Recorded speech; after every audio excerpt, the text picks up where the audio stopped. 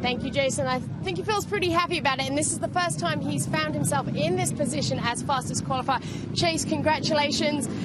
Weekend break, is this being able to get more testing in, being able to get more time in the bike in, or is, is this a case of now we're moving east and it's your time to shine? Uh, yeah, I think it's actually the lack of testing has been the help. I think uh, going back to Florida and being able to do motos the whole time and uh, ride with Adam and Kenny has really helped me. And uh, I feel really good out there today. The ruts are super nice, and uh, yeah, it's good to be back on the East Coast, and uh, it's awesome to qualify first. This is my first time outdoors uh, doing that, so uh, I feel good. The bike's really good today, and uh, looking forward to the motos.